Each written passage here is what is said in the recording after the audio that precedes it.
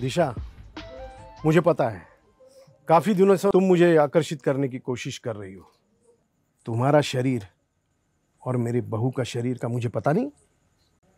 अच्छा अगर पता चल ही गया है तो फिर देर किस बात की?